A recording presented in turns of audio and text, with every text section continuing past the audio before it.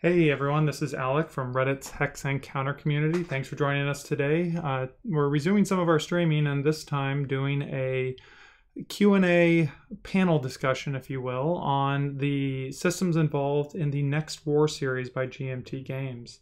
Uh, the two Next War players that are going to be fielding questions and talking about the systems are myself, Alec, and my guest for today, uh, Viceroy Gage. Gage, thanks for joining.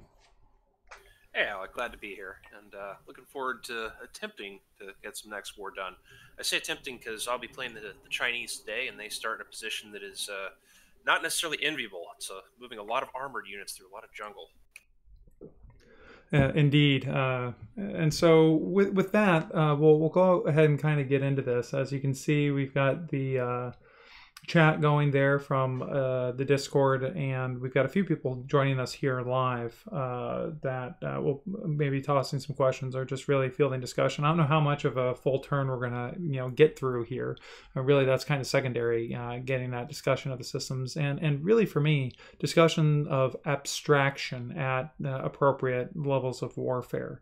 Um, a, a lot of new people coming into wargaming from board gaming see the systems and and can you know read a rule book and and you know try and mechanistically go through a procedure. And and, and of course often war game procedures are somewhat daunting uh, compared to some of the you know really sleek trimmed rule sets from the euro gaming communities.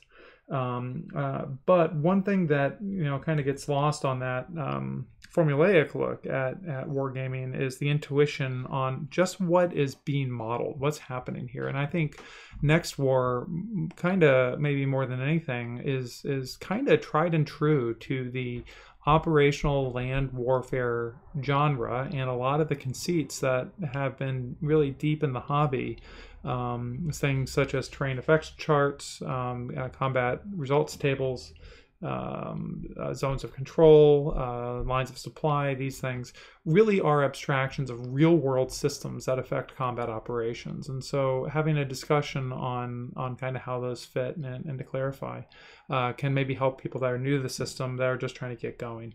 And and I suppose I'll just throw out there, um, you know, one or two thoughts as we get going, and I'll turn the mic over to Gage to to you know give it uh, any thoughts that he has.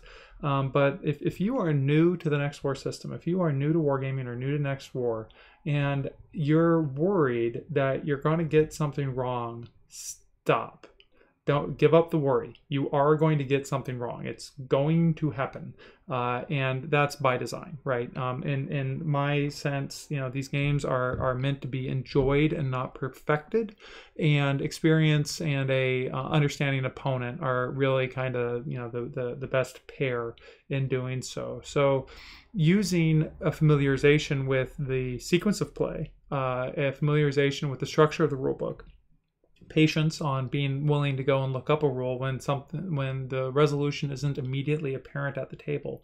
And then using some you know uh, honest intuition and judgment to keep the game moving are really my personal um, recommendations to uh, keep a game flowing and enjoy a game system even if it's new or as meaty here as next war um, so so we'll kind of frame the discussion uh, in that and, and kind of hopefully get uh, anyone who's watching enough where they can feel comfortable uh, uh going at it.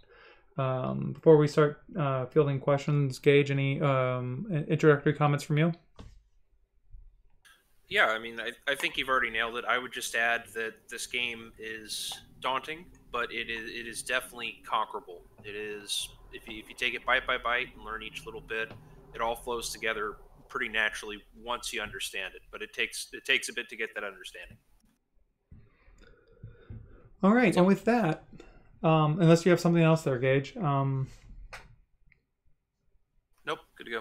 Okay, so with that, uh, I'll, I'll, take the first question that someone left for in the chat. You know, of course, being a, a global community of wargamers, um, you know, uh, 8 p.m. Eastern time U.S. is not necessarily uh, on a Wednesday is not necessarily ideal for everyone to drop what they're doing and catch a stream. So someone did, um, Baron did drop a question for us to uh, pick up when we get doing this, and and he wanted to have some clarifications on ZOC and EZOC or or zones of control and enemy zones of control um, uh, as they're involved in the various movement segments. Um, uh, and you know, he brings up a, a, a good question here. Um, that there are some different interpretations of the finer points of the rules, and and you know we can leave that be as far as what what some of the finer points are. Um, but but what are some of the broad brush um, uh, core combat conceits that Zoc and Ezoc are trying to get at, Gage? So the big reason why you would want to have zone of control or Ezoc or represented in game is to show a lot of the friction. Um, warfare is as much about finding the enemy as it is about fighting them, if not more so. So when the enemy is nearby, uh, especially at the scale we're looking at here, which is uh, brigade up, you're getting indicators that they're nearby. Uh, maybe your your recon units are running into their recon units. You're getting into small scale fights or they're able to range you with artillery that prevents you from being able to move the way you want. At the same time, they're not able to decisively engage you because that takes more effort. They can't bring a lot of their soldiers to bear or a lot of their weapon systems to bear. They can only bring a few things at a time in a few different areas. So the zone of control rules sort of show that that this is how far a unit could project some of its power out in order to prevent you from doing what you want the big counterbalance to a zone of control, I think, is freedom of maneuver. If you think of freedom of maneuver, the ability to move the way you want with as many units as you need to, the zone of control is what infringes upon that. It stops you from being able to do that. It takes away some of that freedom, not because of what is literally there, but because what could be there if the enemy decides to do that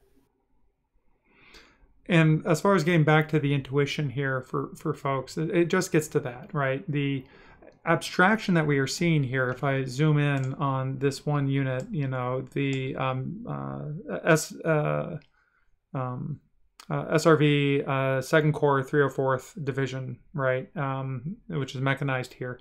This counter with those numbers on it represents. This is a division, right? This represents um, you know, uh, thousands of, of, you know, combat um, personnel, support personnel, vehicles, equipment, etc. Right, and so this hex right here, where the counter sits on the layer abstraction of this map, um, you know, uh, you know, maybe X number of miles across, but really this this is an abstraction to where's the center of gravity physically of that combat uh, uh, unit, and but extending beyond that are the areas that they are able to hold at risk and and areas that they're able to sense and, and get going at here. So we what we we have a very clean look here on this map of a very discrete counter, right?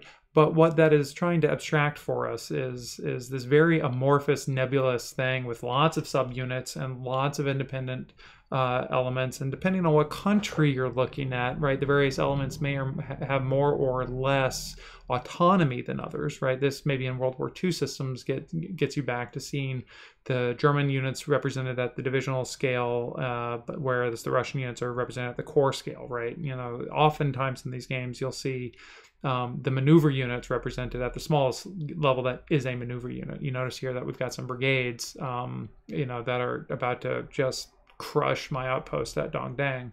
Um, uh, but uh, uh, so we, we have this this thing on on zones of control. So getting into the gameisms of it, um, you know, what is it that zones of control do? They they stop adversary movement or significantly increase the cost of it. Um, uh, and different games uh, that are operational scale will do this different ways, right? Some of them will have increased cost in movement points to enter the terrain. Some will have increased cost in movement points to exit ter- the terrain. Some will cause a full stoppage of movement upon entering a ZOC. Then you have the interactions with other systems, such as determining lines of supply or, or communication uh, for victory conditions or for supply. You know, of course, you don't necessarily want to be running your convoys of soft vehicles um, uh, um, through areas where the enemy is holding things at risk. Um, However, that being said, one could argue that recent uh, U.S. combat experience in Iraq and Afghanistan is a, is a counterpoint to that. Um, you'll note, though, uh, if you look at the those conflicts, that was actually the point where a lot of the conflict happened, was attacking those supply lines.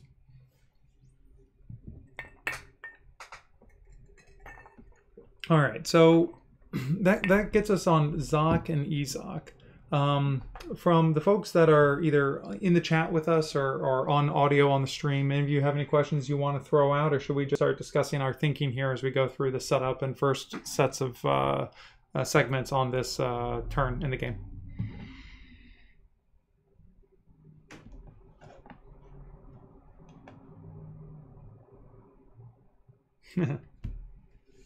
All right, I see we have a vote here in the chat to just press on. Um, open rules here. If you've got something that you want to stop and bring up for discussion, uh, type it into chat. Or if you're in here in the, the stream with us, go ahead and, and interject and uh, and uh, throw some things out there.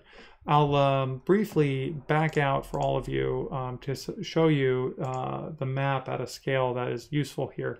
This is the entirety of the map, and, and I guess actually I'll take a very brief pause because a few folks that were um, uh, new to the server to catch the stream uh, or caught some of this on, on Twitter um, were, were actually uh, discussing a general unfamiliarity with Vassal. And particularly here in an era of social distancing, I wholeheartedly encourage all of you who haven't already done so to pick up and become familiar with Tabletop Simulator and pick up and become familiar with Vassal, as this will be the way that you can get your game to the table. Or, you know, it doesn't even have to be coronavirus. If you have a cat, get Vassal.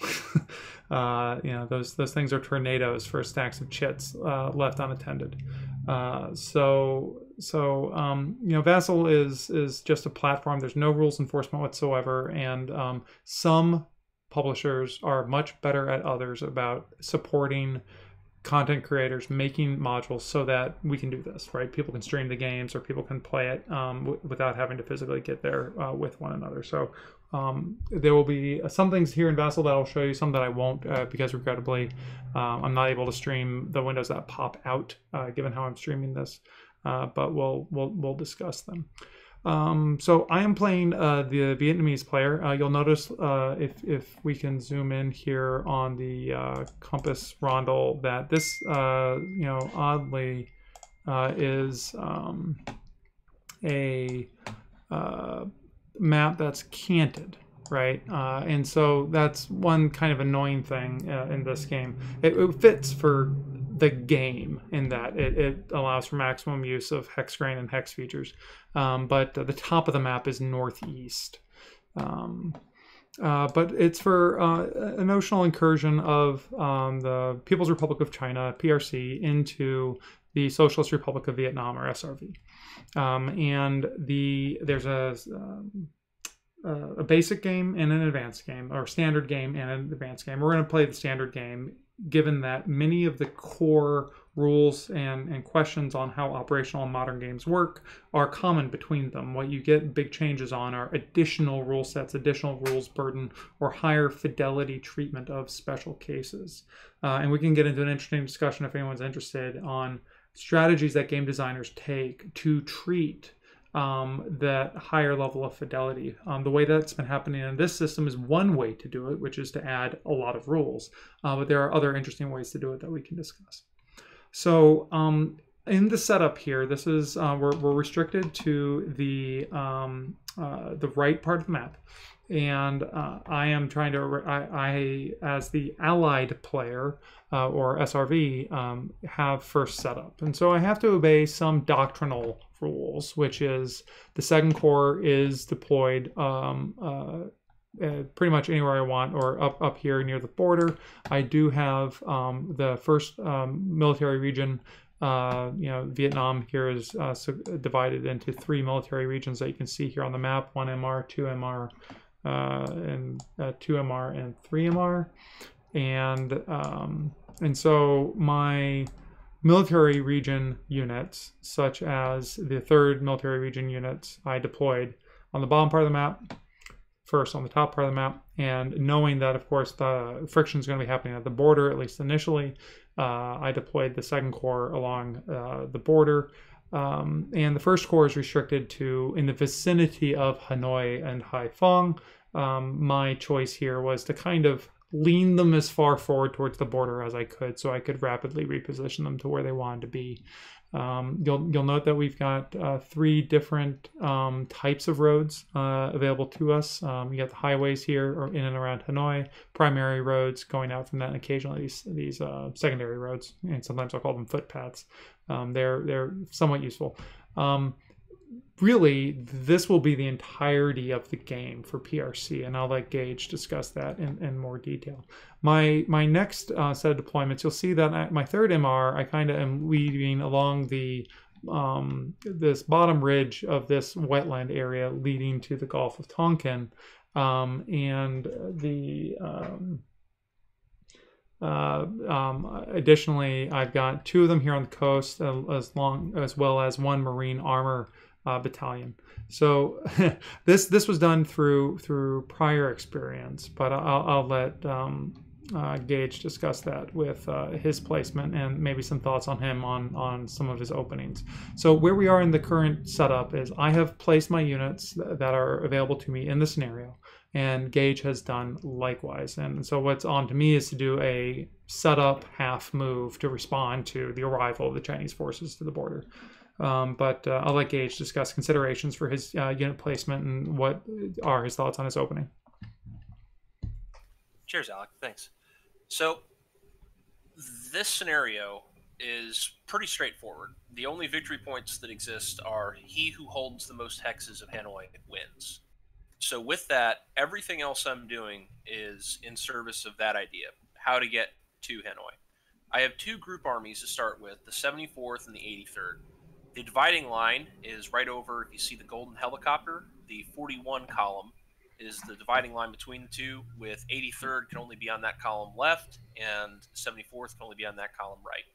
The 74th is a lighter unit. Uh, the strongest unit it has, I believe, is an attack 4. Oh, no, there's one attack 6, as opposed to the multiple attack 6s that exist in the 83rd Group Army. So I've got kind of an asymmetric start. In addition, over my holding box, I've got several brigades of airborne, six in total, of which I can drop four per turn. Four of them are light infantry, two of them are airborne mech. And then I have two Marine brigades, uh, First Marine and Second Marine. Uh, I'll, I'll get to them in a second. In addition, I have attached helicopter units for both group armies. So when I saw how Alec placed his forces, I started to look at what can I use to open up routes to move rapidly towards Hanoi. These gray lines, these are primary roads as discussed, and they're going to be the lifeblood of can I get there. This is only a four turn scenario, and I will have the initiative for three of those turns, and the fourth one will be whoever has killed more units.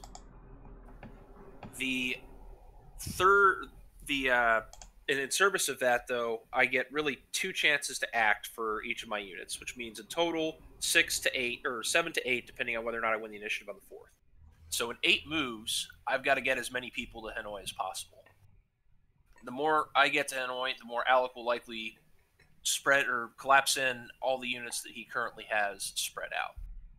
So the way I can complicate that picture for him is those airborne units and those marine units if we can get the uh, the scroll to go down to 4420, the amphibious landing. Terrific. It's down there right next to the uh, Next War Vietnam. If you go from the, the hex where the N is in Next War and look two hexes up and to the left, you'll see one hex has an unusual coloring. That's 4420. In this particular scenario, that is the only hex that you can do amphibious landings in. So Alec has reinforced that.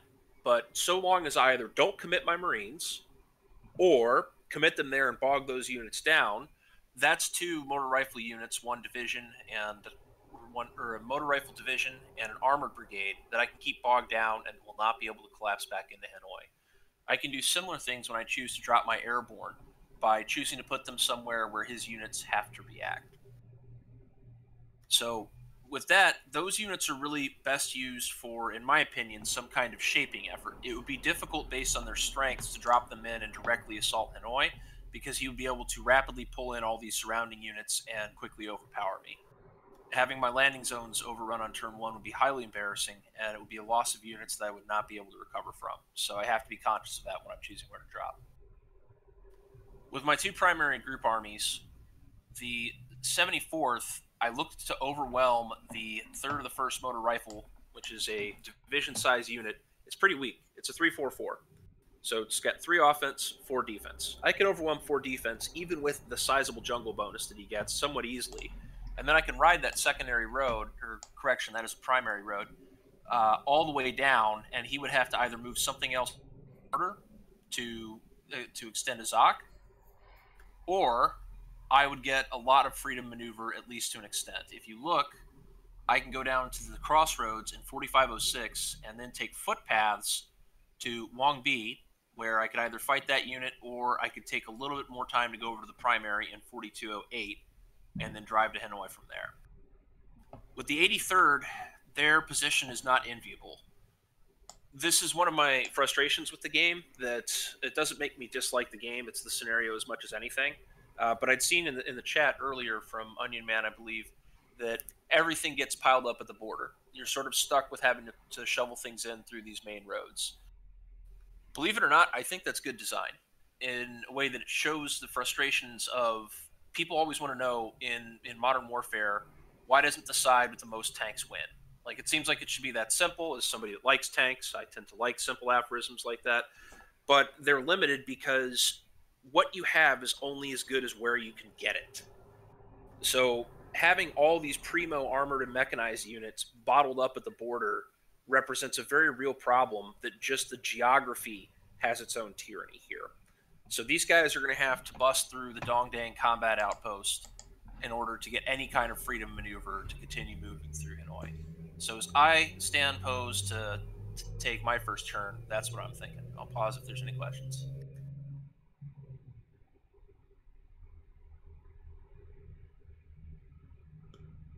All right, and I will throw one um, yellow card on placement on 3904. Uh, again, getting back to acknowledging and respecting terrain in this game. Um, the, you know, this is where scenario special rules really do come in. Um, you know, we, we don't expect that a lot of these tanks would have the heavy engineering equipment ahead of them to plow their way off of the improved surfaces into the deep jungle to allow an off-axis attack. And so um, if you look at um, the um, setup instructions for the PRC. All units set up on the operational map must set up on a highway, primary road, or in a flat terrain hex. There's not a lot of flat terrain hexes in this game. You'll see them popping off like bright white, like the one up here in 3801. That is that is a flat terrain hex. Pretty much all the other uh, hexes that we deal with here are rough jungle. So um, we'll we'll and, and like I was saying here, this is where a thing where if if we had started playing a little bit here and realized that you know whatever, right, play the game. Um, you know, uh, it's it's an interesting opportunity for us now to look at that and go, oh yeah, right, that jungle stinks, and kind of force him to to you know get those guys a little bit further back in line, if you will. Um, and, and while we look at that, actually, we'll, we'll uh, give us a good opportunity to discuss stacking, right? This is uh, stacking is one of those um, game uh, conceits that's common in operational type games. Uh, and in computer games that try and do these things, you, you, might see something referred to as frontage, right? Like if you're playing in Hearts of Iron 4 or if you're playing in War in the East. Um, and, and this is that these units at combat effic- uh, efficiencies take space right? Uh, you can only bring a certain amount of fire to bear, and the enemy has to be within your your line of fire. And so you can't bring four combat factors of the uh, 14 um, of the 83rd GA if they're all lumbered on flatbeds on the highway, right? Um, and so this gets us to the concept of stacking, where there's a certain mass of units that you can have coexist and still have combat effectiveness. You're allowed to go beyond that, um, but it's typically then at some penalty, representing the abstraction of there's either now a traffic jam or folks are you know off in a ditch or they're lumbered up on flatbeds uh, in the case of mechanized units or the infantry are, are in the soft uh, troop transport uh, you know uh, uh, mass transports not the armored combat troop transports. Yeah absolutely. If i can actually own up to uh, more of that i had gotten so interested in destroying 3-1 motor rifle i totally ignored that rule for the 74th ga for those three units. They've all got to move too. But again part of the system lot of individual rules to keep track of. So I will go ahead and move all my units into compliance.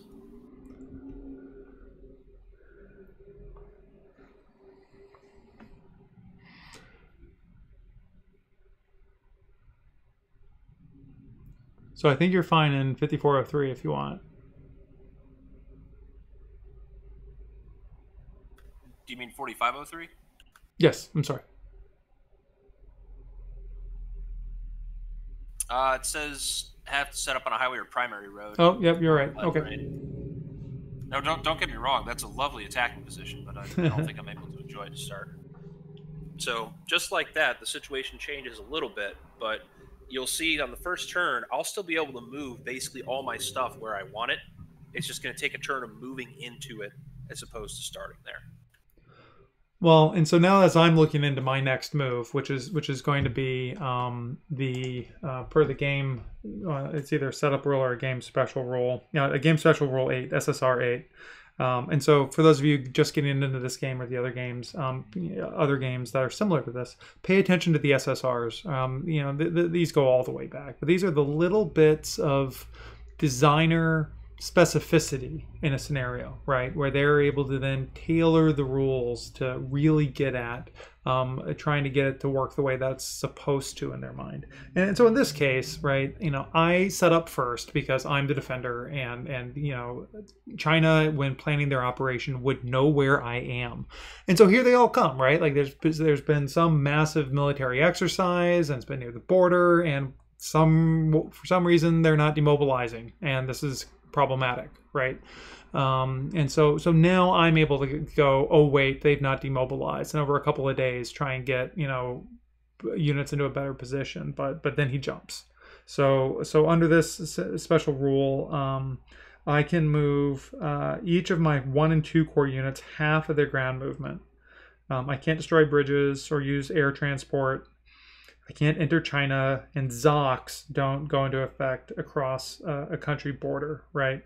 And which makes sense, right? Where we are uh, in the, um, we're, we're not in the the um, hostility phase yet, and so so there's nothing inhibiting my freedom of maneuver on my side of the border. Um, so that being said, you know, I, I see, of course, that um, he still has his airborne and he still has his um, uh, maritime units. I'm slightly concerned about my port at Cam Pha or uh, that airfield, right? Um, if, if he is able to secure a port, um, that means that he will then be able to use sea lift, assuming maritime superiority, which isn't that hard for China in their backyard here, um, to offload troops at the port and bring in the next uh, uh, GA into a port uh, clo- in my side, which is problematic. Um, but I also don't feel I'm, I'm comfortable enough to bring folks up from down here. Um, and, and I kind of have to cover zone defense down here so I can snuff out an airborne wherever they decide to drop. Um, up here in the front, though, given this placement, which again shouldn't have been shocking to me that, that they would have ended up here, um, I, have got some concerns, right? And I'm still concerned about 3-1-MR. Um, and I'm concerned based on you know, this is a lot. This is a fully stacked hex here in 4404, um, 154 and 125 of 74 GA. Um, it would not be awful, and I'd have to check the movement rules, but you know, most games like this allow for minimum moves, and and you know, depending on the game, you could move within uh, from one Ezoc to another. Um, some games don't allow that, so I would need to check. But a movement to 40, 4504 of anybody would really kind of wreck my lunch for 3-1-MR, right? Like if, if we get into hostilities, that guy's kind of out on his own. Um, at the same time, I look over here on my other front and I see the um, Second Corps 325th near Caobang, and that guy's far enough out there. I kind of need him out there um, because you know there's a whole mess of roads over here uh, that that an enemy can potentially just blitz through if I don't hold specifically uh, this crossroads or the ones here in 3504. Um, but that being said, um, his zone of control only exerts to these six hexes around him, and I got a big gap here. Particularly, um, you know, I, am worried about these couple of hexes uh, right here, um, you know, uh, on the hex grain northwest of Dongdang. Uh, where you know he could potentially just start. You know, he's not he's not going to go far. You know, you're not going to. If you look at the cost penalties for taking armor through jungle, uh, it would take him all of his moves just to get out of the jungle, right? Like he he, he actually he wouldn't. He would still be in the jungle, um, but he can get to a road, right? That is problematic. You know, he can eat a move to you know plow into the jungle, eat another move to get to a road, and then he's on a road.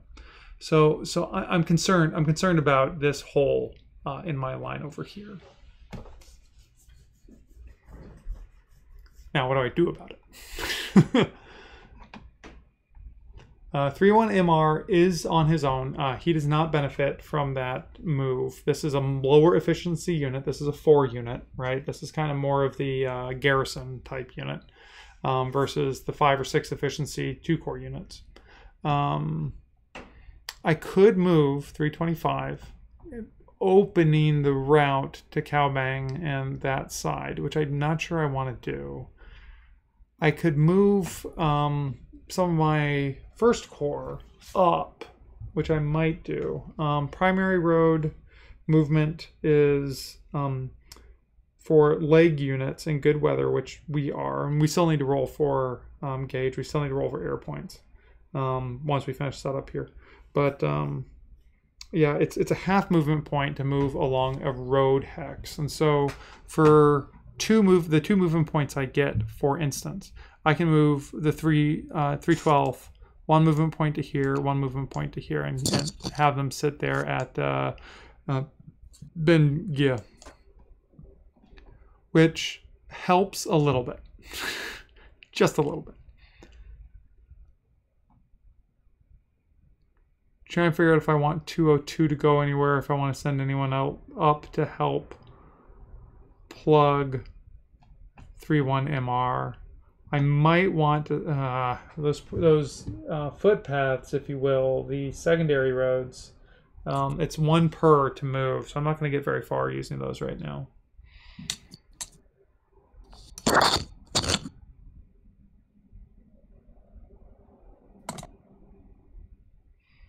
All right, Onion's asking why not stick them all in the jungle, as in just push all my guys off the jungle.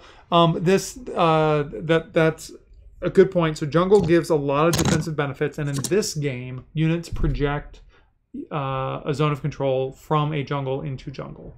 Um, I, I, don't believe that, that the rules for jungle introduced in this game uh, pro- prohibit that. Um, what experience finds, particularly given the dependence of these mechanized and motorized Chinese units, is um, uh, is is the the the need to use the roads right? And so controlling these cross these crossroads become uh, uh, decisive uh, decisive uh, pieces. If I could add, one of the other things is moving into the jungle is one thing, moving out of it is another. So it can be depending on where you put yourself. If you're not able to get access to the road again, um, even as the defender, that has its own problems. I don't, I don't think that's really an issue with anything that's there right now, but as we advance further towards Hanoi, that starts to become part of the consideration. All right. So I'm going to go ahead and do a couple moves. One thing I'm going to do uh, to satisfy kind of two simultaneous concerns is I'm going to move the 390th of the first corps.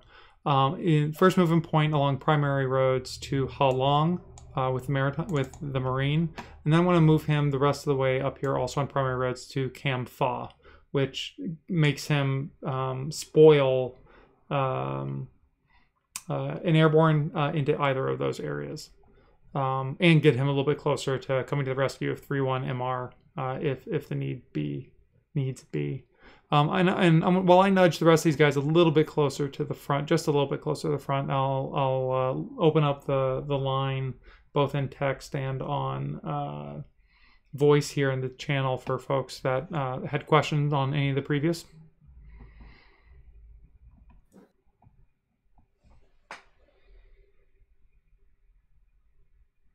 This is partly so I can stare at a terrain effects chart and calculate things while you just discuss amongst yourself.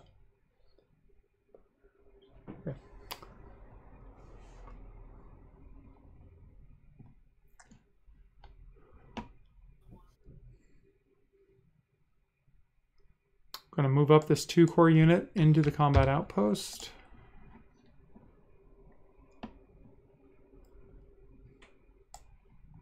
One, two,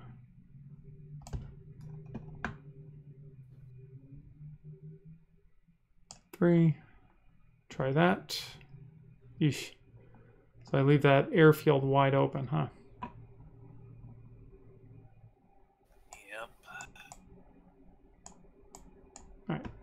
We'll try that.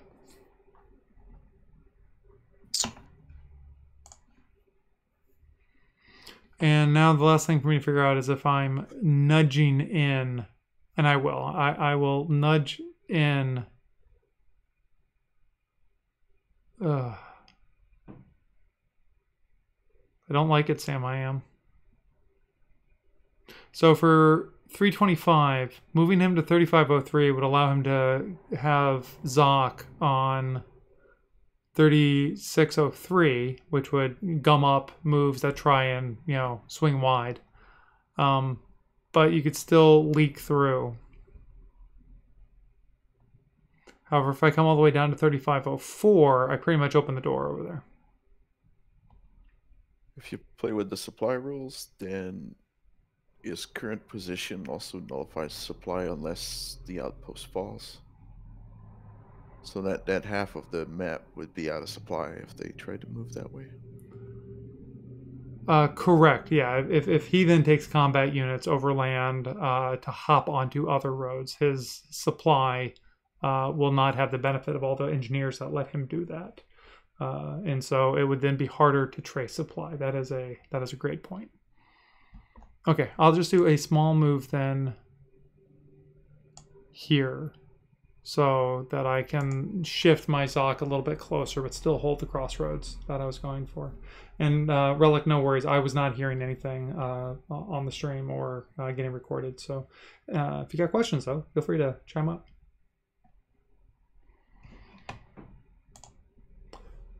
All right, so um, getting back into our setup here, um, and again, my regrets on uh, the YouTube recording will have these overlays I'm popping up. However, you guys aren't seeing it on the stream, I'm sorry to say.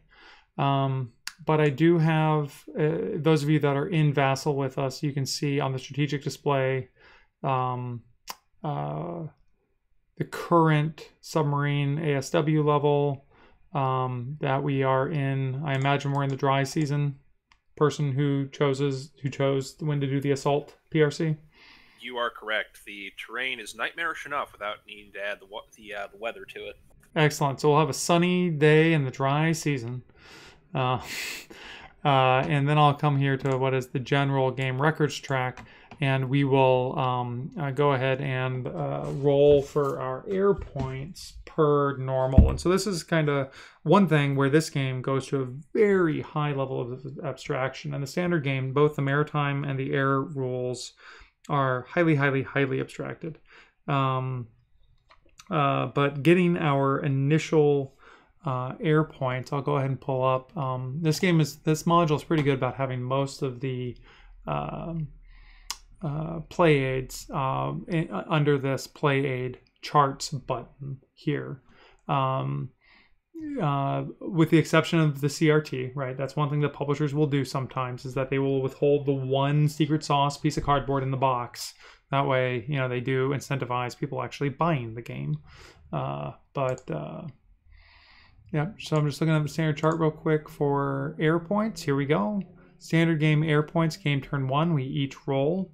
Uh, and this is a thing where, uh, for those of you playing this system or other systems like this, the first time or two that you go through needing to do any of these checks or any of these rolls, you're spending a lot of time staring at the various DRMs or, or other results modifiers uh, until you realize that um, you know many of them become common unless an exception occurs, and so you get pretty quick at doing them. Uh, and so uh, we won't have any DRMs from airbase control.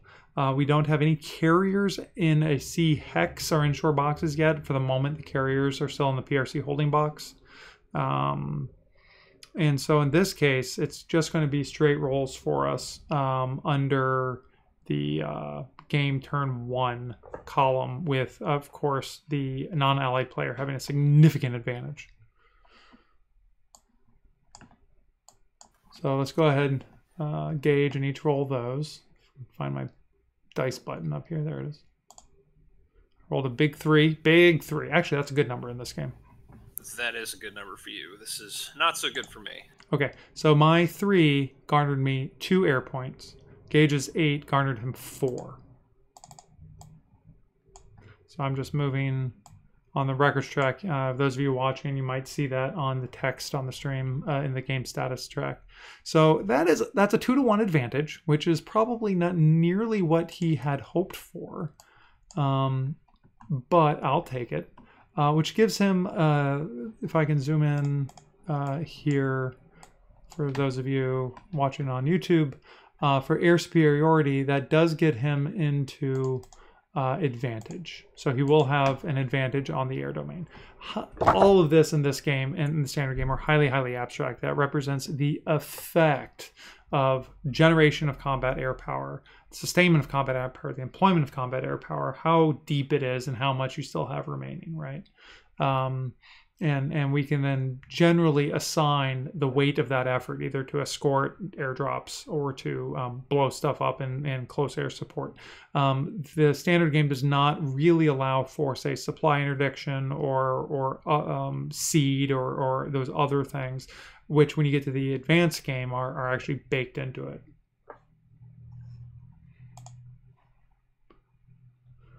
All right.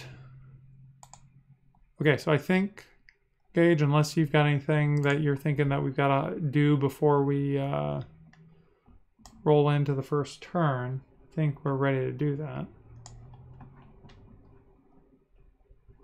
Yeah, I think we're good. Um, the only thing we might want to spend time on, since we've alluded to it a little bit, for folks that aren't familiar, maybe worth going over anatomy of a counter or why are we obsessed over these numbers? Yeah, no, good question and, and, and great to do. I'll zoom in here on my one corps 202 brigade um, as, as an example. Um, and so um, this game, like, like I've said a couple of times, is pretty true to form on a lot of hex and counter operational scale land games, where a lot of these things that are part of it uh, will will be useful. On the top left here, we have a um, organizational identifier, right? Which is, uh, in this case, uh, 202 Brigade of the 1st Corps.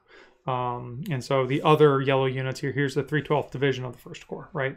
Uh, we'll, we'll share that. Uh, as a mnemonic in this game, the color of the unit uh, are consistent. So all the yellow units for me are 1st Corps units, all the blue units are 2nd Corps units.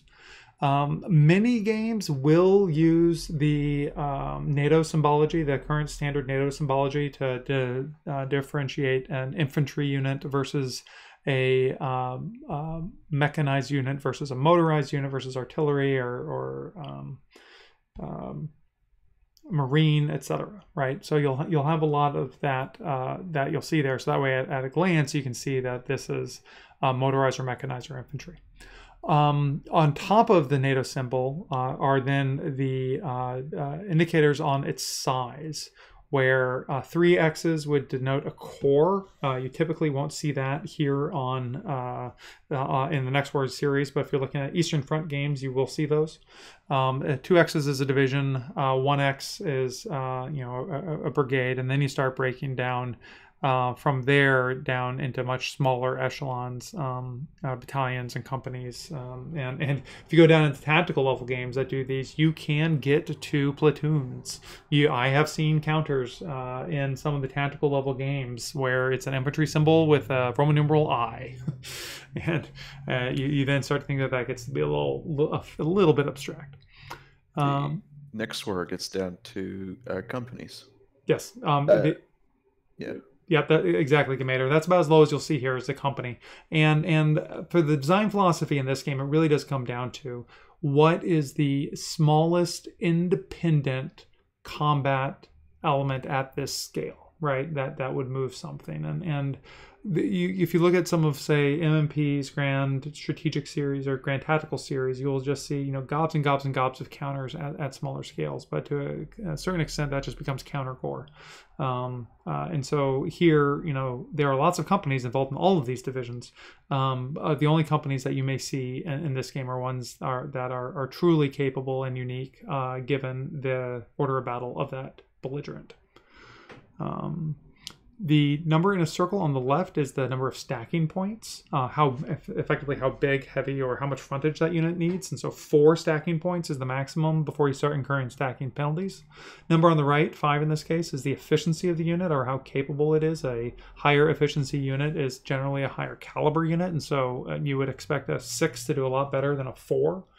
And then finally at the bottom, and, and so that comes down to training and efficiency and leadership doctrine as well.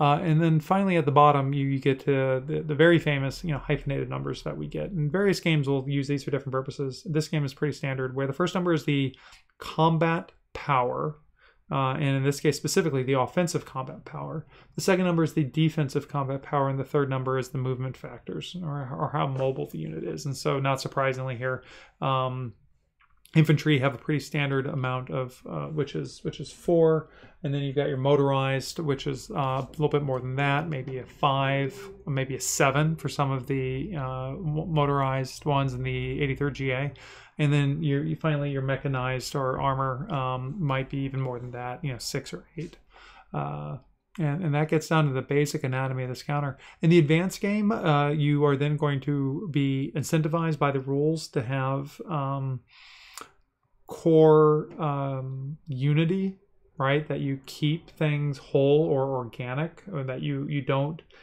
intersperse units of different formations on your line, um, which which has some very valid um, reasons for that. As far as rules enforcement, it, it adds a bit. Uh, in here in standard game, you you won't find that.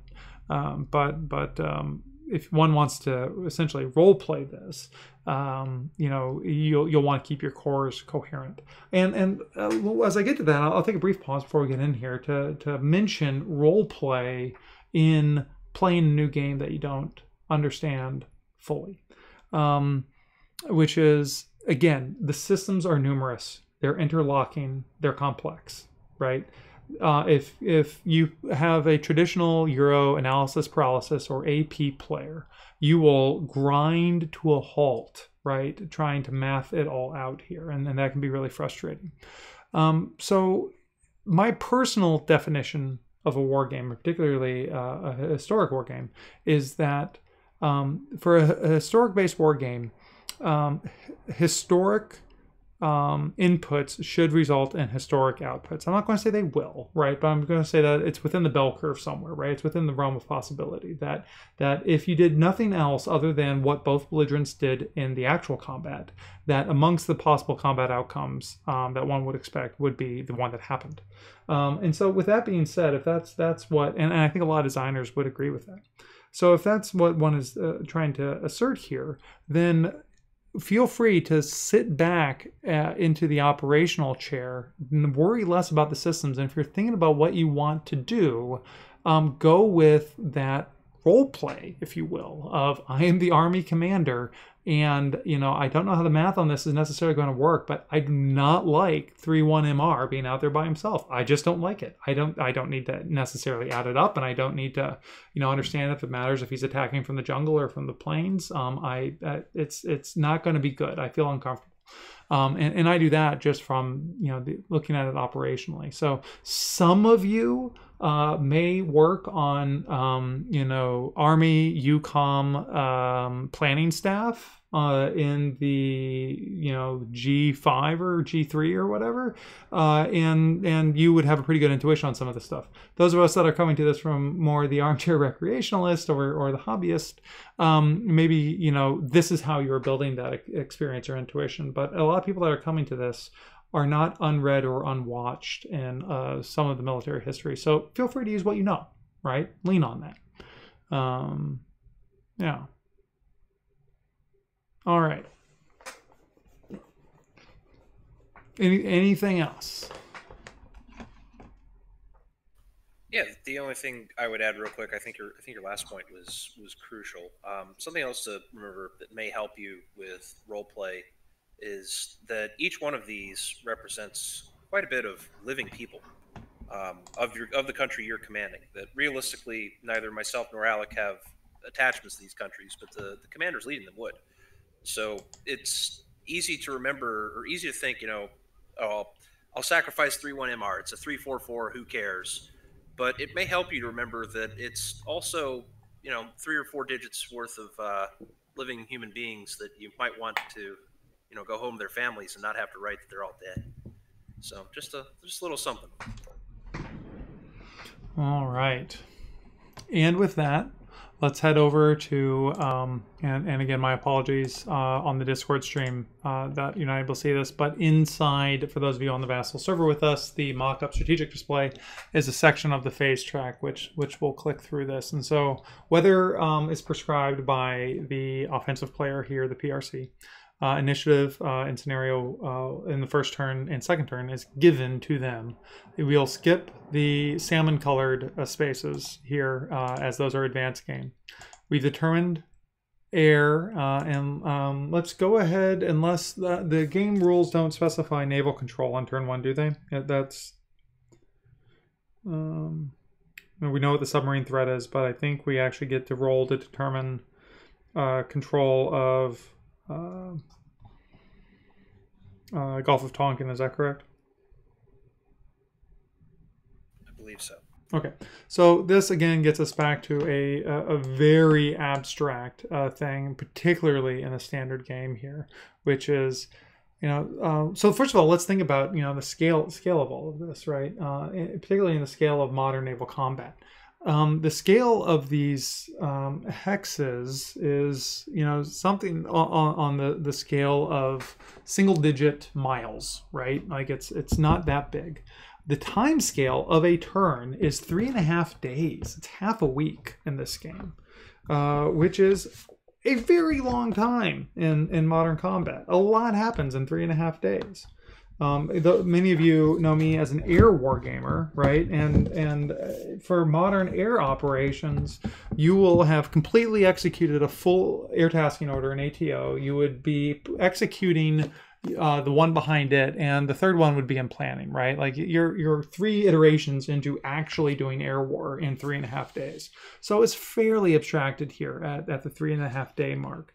Um, but uh, so and and with the ranges of of uh, air um, uh, uh anti-ship cruise missiles uh, with um, uh, anti-surface missiles and guided artillery from these naval systems it's all fairly generic. It's it's kind of like what we just had on the air here of well, China's got the advantage.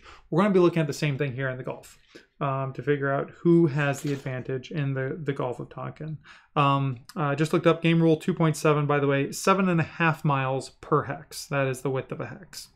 So, um, so uh, popping over to our um, uh, standard play aids and looking at the maritime, which is eluding me for the moment, play aid pair drop, clearing, placement, sea control. Here we go. Um, so for the sea control play aid, uh, we see here that uh, for the Gulf of Tonkin, just straight up game rule, specific rule for us here, uh, minus two, right? This is in the backyard of many of the, the, the Chinese ports.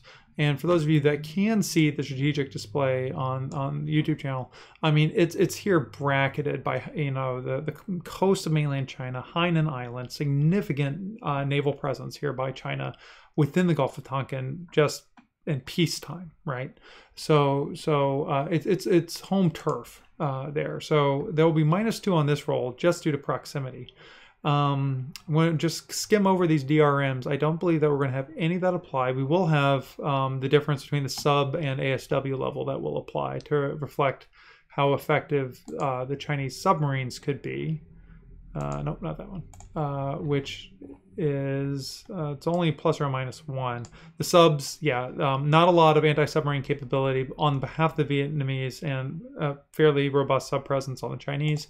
So one further benefit for the submarine advantage. So now we're at minus three. Um, this area down here does not apply. PRC cruise missiles do not apply. Inshore box um, yeah, we're not doing that. Okay, so I'll let Gage make this roll at minus three to figure out if he outright controls the Gulf of Tonkin right now, or if I'm able to contest it with my shore-based naval fires and my limited navy. All right, rolling. So I got a seven, which minus three is four.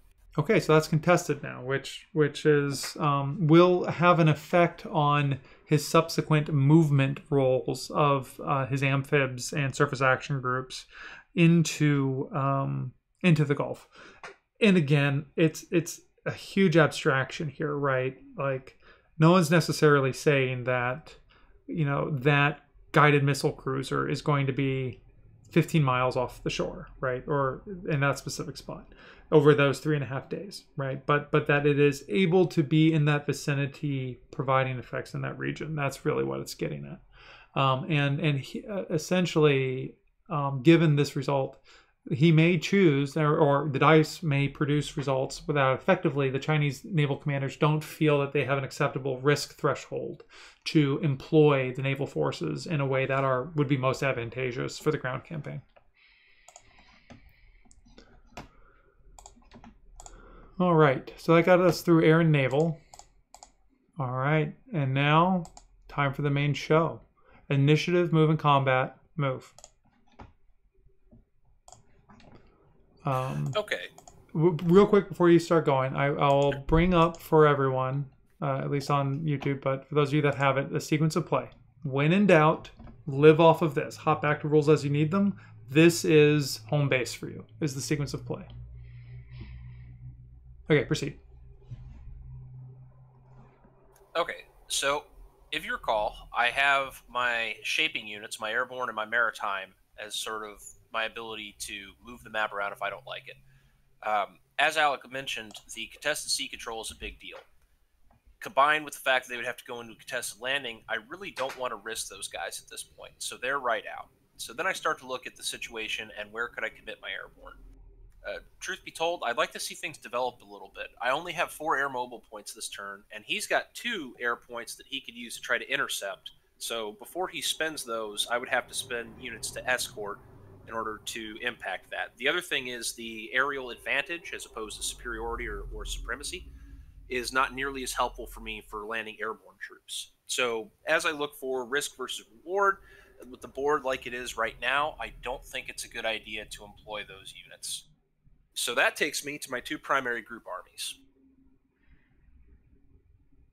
The easy move I can make is well, maybe not easy, but at least straightforward. It's going to be banging my head against a proverbial wall. Um, is going to be taking the 92nd and 145th south to 3904. That immediately stops their movement because one, it's jungle. That's incredibly beefy movement, and two, they're moving into a ZOC of two different units. Uh, the mechanized unit does not project a ZOC. The oh, the armored unit.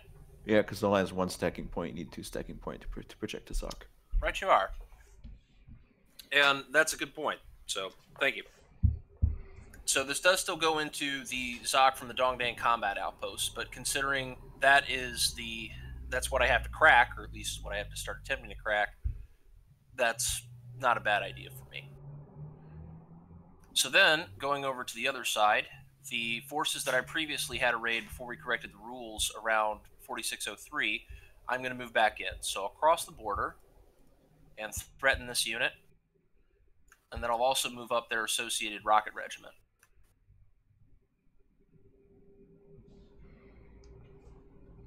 Now, as I look at the other units here, I do have some options. I could spread these guys out, but it's not enough to get a combat bonus. You have to get to at least three hexes to start getting DRMs in that.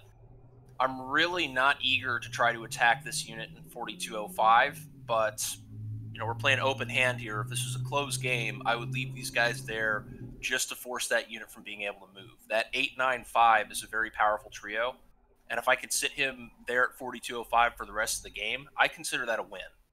None of the other units up at the border are that tough, though another couple of them are pretty good. I think the only other move I'm going to make is move the 83rd Group Army's Rocket Regiment down one, and this isn't really necessary. Their range superscript is four, but it uh, it's going to make me feel better. So, as I look at how the situation is developed, I have a couple different combat options, which is what we're preparing to go to to play. Uh, before we do, though, I will pause for any questions.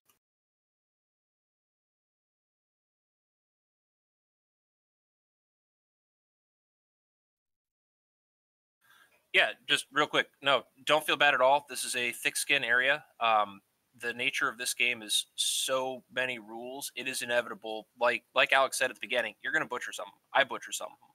This is not my first time playing, and I still forget the two point Zoc rule. So absolutely helpful. And whoever you're learning this game with, if both of you guys can take that attitude towards, hey, don't worry about it, call it when you see it, move on when you don't. And it gets to two things. And the first the first is, you know, it leads to an interesting discussion and reflection upon, you know, why that's a rule and what that is. Like, oh, right, if one dives back into the Zoc rules, it explicitly states that, uh, you know, two stacking points need to be present in the hex for there to be a Zoc. And one could think that, you know one you know could have power but you know there's a threshold you need a certain amount of power to be able to disrupt that okay got it you know? Um, and then one can then take the next segment and one could then be critical of of the design right? And and we can all you know uh, be critics and and from a gameism standpoint right it's it's uh, a thing where it's one more thing to mess up right? It's it's it's another thing to get wrong and it may or may not add value. And and, and so that's that's that's a critique right, um, right. but in it is as it is. And of course you know folks are, of course welcome to home rule things as you play through things and you feel things are broken. Do understand that that these games and this system now particularly has had um, a play test community and experience that has uh, at, at, this point spanned five or more years right? And and so um, the system works fairly well but you paid for the game. What what's Mitch Land going to do? Jump through your computer and punch you, right? Like you know, yeah. particularly if you're doing solitaire. Yeah, and the the issues are partly because of there's these battalion units, and in some cases smaller units that you know can't realistically project a Zoc, and where the line is for what is or isn't a Zoc, that's that's very hard to call anyway. Fantastic point. Also, it also relates to the scale it's the question of if this was broken out into smaller scales, some of these small units would still get a Zoc because they could definitely within the 12 kilometer hex, seven and a half miles, they definitely could project something there. It's just not enough to reach into the next hex.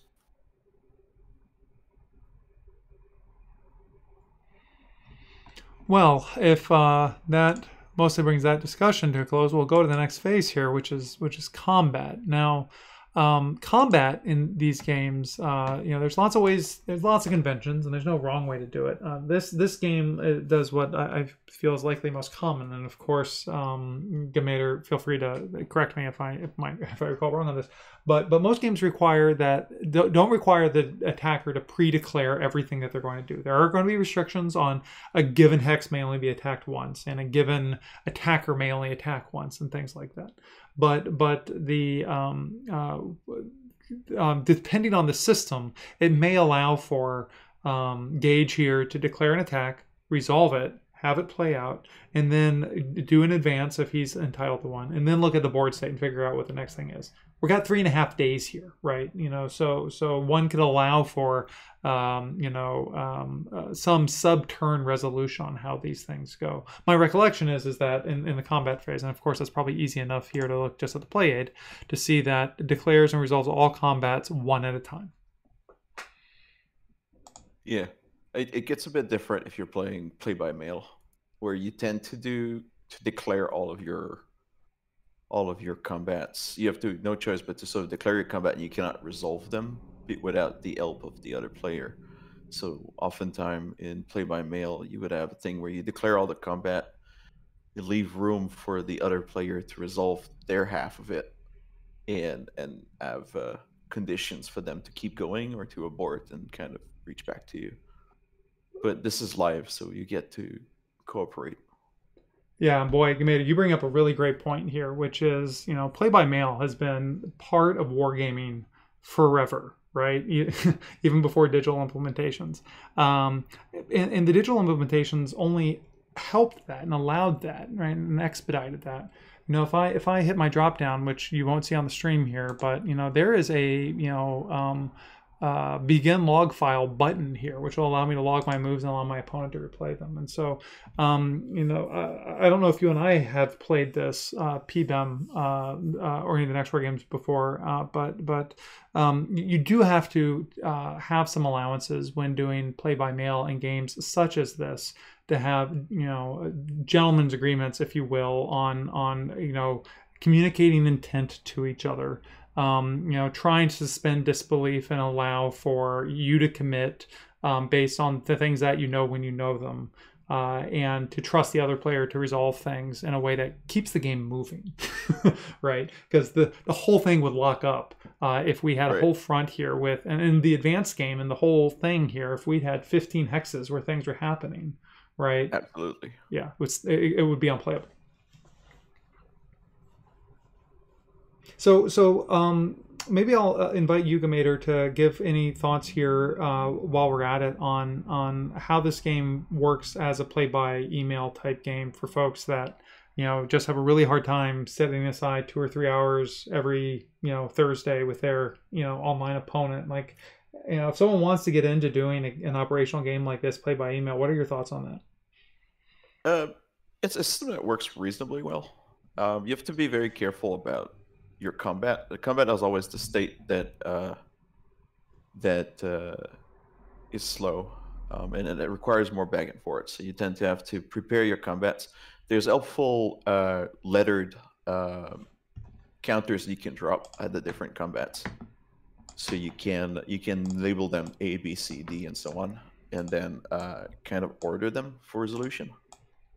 Uh, which really helps uh, to, to, to fix things. in uh, as I said, you, you give your opponent kind of your what condition would you stop? Like for example, if you're having a six to one attack against an X, you fully expect the attack to succeed. But you know, the CRT and the dice and things you didn't expect come into play, and then you lose that attack or you fail to advance, and that maybe that stops the rest of your turn, and you have to go back and forth. Uh, and you, you have to expect that a, a full initiative turn of, of this is probably like eight or nine round trip of email at least, if not 10, 12. Um, or of uh, Dropbox these days mostly. Yeah, Dropbox and Google Drive are you know great tools to help with those logs. I'll even say Discord is, is actually a, a platform that's pretty good uh, for facilitating communication and, and log exchange as well. It's not quite as, as tightly integrated uh, as the things that are integrated into your OS like Dropbox. Um, you can but, also go a bit hybrid where you do the movement fully play by mail because the system works really well for that. And then you resolve combat live. I've done that with uh, for Korea with an, with a, a, another player that had a lot of analysis paralysis. So instead of spending an hour and a half waiting for them to like calculate all their turns, uh, we just uh, we did the move on our own, and then we would get back together only for combat resolution, which took only maybe twenty minutes. Hmm. That's an interesting technique. Uh, I'll also uh, throw a technique out there for folks that are looking at play by mail, um, uh, which is being, you know, so you log, be verbose in your chatting, right? Like theoretically, you know, the, the chat feature here in uh, within Vassal, uh, you know, allows, you know, for uh, live play with an opponent that you're not using, you know, uh, I guess back in the day when this was starting Ventrilo, right, or TeamSpeak to, to speak with, or now Discord. Um, but uh, for play by email, it's crucial, right? Because uh, as I'm going through play by email, um, I'll, I'll, do just what Gamator said, which is, you know, when I'm declaring an attack, I'm like, all right, I'm assuming this is going to succeed, and and when it does, uh, advance after combat into Lang Son, and if for some reason that goes off the rails, let me know, right? And then you put in spacers uh, occasionally if you want to allow for the opponent to record and do some things, and then you hop back into what you're doing um, if if you feel that the log could is likely to continue or could continue. For those of you, and uh, we'll share a link here. I know a lot of people in the Hex and Counter community are aware of it, but there is a fantastic Discord server for um, Vassal play by mail, um, uh, which, uh, not uh, terribly surprisingly, is called. Um, uh, it's called just that. Vassal PBEM is is the name of the server.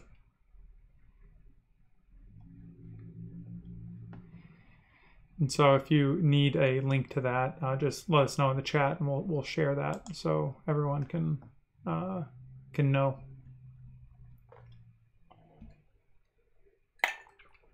All right, great points, Commander. Thank you. Um, uh, any any other uh, uh, pre-combat resolution questions here from the Peanut Gallery?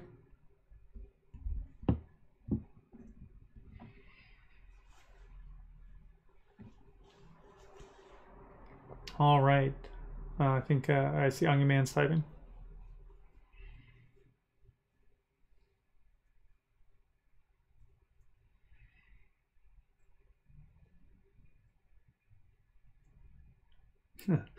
All right. Uh, Gage, do we have you back yet? Yes. Okay. I labeled all of the potential combat. Oop, I missed one, of course. The potential combat eligible hexes. Of course, you're not attacking E here for sure. Uh, but um, uh, which of these are you interested in resolving? So, um, my main effort is going to be A, but I also think that's going to be the single most complex combat. And from a game standpoint, it's one that I want to make sure I have air points available for. So I want to see where you spend your air points. I think our best bet is actually to start with the simplest combat, which is going to be combat D. Um, uh, D is in Delta. D is in Delta. Okay.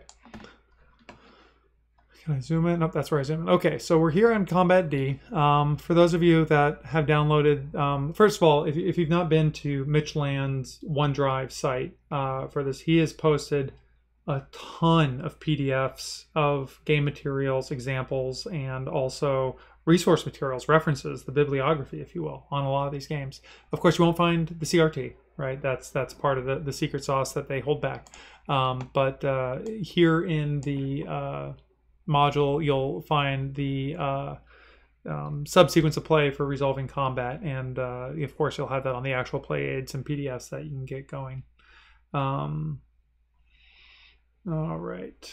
Um, and and as Commander points out, the CRT is common for the series, and noting that as they do little bit of incremental additions, like for instance in this game, the addition of jungle as a terrain type, which then ends up having its own um, entry on the CRT uh, does it. So there's there's small modifications, but effectively yes. If you have the CRT for one, you have the CRT for them all. And you know I uh, would uh, not at all be concerned about Mitch and, and Gene hunting you down if if you sent a you know cell phone photo of the CRT to your opponent, right? so that you guys could facilitate playing if one of you owned the game but the other one didn't. Um, but uh, um, uh, that is not the official GMT line. Uh, so getting at this, um, we're, we're in the first subset here, which is uh, declare attacks, which we've done. Uh, so now we're going to compute the initial odds. So to do this initial odds computation, we'll, we'll note that I have four defending factors and he is attacking with nine combat factors. Um, the Vassal module here is pretty good at marking overlays for who's doing what. And you'll notice that Control K uh, denotes that the unit is attacking, so uh, you can know who's been activated. Um, for those of you that are doing this with the real game, um, my life pro tip for you is go on Amazon.com or wherever you prefer to go for your online shopping and get tile spacers for um, laying floor tile uh, those little tiny plastic X's that are used to offset those fit perfectly on a hex stack and are just nice little additions that you can drop on your stacks to know things that you've done something with and things that you haven't. So um, I'll have to get an affiliate link and you know share a link to something like that. But um, you know those little those little um, uh, tile spacer uh, X's are perfect uh, for doing this in real life. Uh, so so we uh, we've seen that initial odds, but of course the true initial odds are, are, are going to be adjusted based on the terrain. um, where, where we note that it is rough terrain here. This is attacking into rough. Um, that is jungle. So this is rough jungle. So looking at jungle, we see that attacks by armor and mechanized are at one half. And and Onion Man brought up the point here on occasionally getting confused or needing clarification on, you know, what do they mean by um, armor? What do they mean by mechanized? What do they mean by motorized? Um, any unit that you'll you'll find that is um, got a red movement factor is mechanized. Any unit that you find that has an, uh, an orange movement factor is motorized. Um, now, interestingly, you occasionally get to where the NATO symbology will will have um, an armor or or a um, you know an armor infantry unit that might in one type of unit be mechanized as a motorized, but but I go by the color of the movement factor for mechanized versus motorized. Armor um, in the NATO symbology is all going to be the oval in that NATO um, hex. So in this case, he kind of, um, you know, certainly the 1674 GA suffers that penalty, and and it's I guess kind of open for discussion here if we feel that the 16374 GA as a motorized um, unit would also suffer that penalty. So I could say this benefits me if I claim it doesn't, but I would tell you just from what I know about these kinds of operations, it really should. If you're having trouble moving tracks through the through the jungle, you're definitely going to struggle with wheels. Like Yeah. the Yeah. only places I can think of where that would be an exception is if I was to stick strictly to the primary road, and that would be a nightmare because you would be able to have one company of riflemen hold me off for hours. Right. And so this is a perfect example here, everybody, on what I was just mentioning. On first of all, not being too bent around the axle on it. Like, you know, I, I would have been fine if he said he was going with one factor or, or one and a half factors, right? like it's it's fine.